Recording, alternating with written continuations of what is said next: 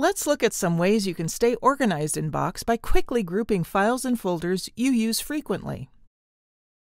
When you land on your All Files page, you can access Collections, Favorites, and Recents.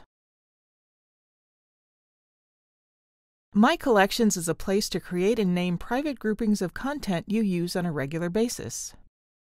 Your collections are personal and are visible only to you. Favorites is a default collection where you keep files or folders you access often. Keep in mind there's a maximum limit of 100 items in Favorites. Let's say you want to create a custom collection for a major project you're working on, Project in Creo. Click the plus sign to the right of My Collections. This opens a dialog box where you can name your collection. When you click Create, you now see the collection under My Collections on the left-hand navigation panel. To add content to this collection, just drag and drop your files and folders. Another organizing tool you have in Box is Recents. It's where you can quickly access a file or folder you were just working on.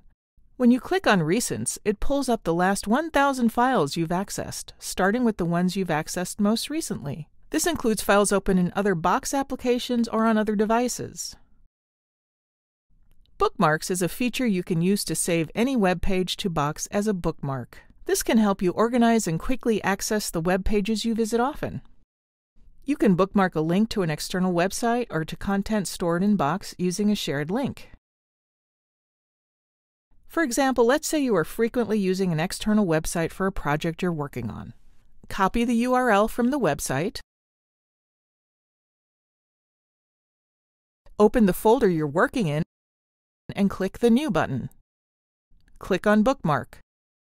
It opens the Create New Bookmark dialog box. Paste the URL and a name for the bookmark and click Create.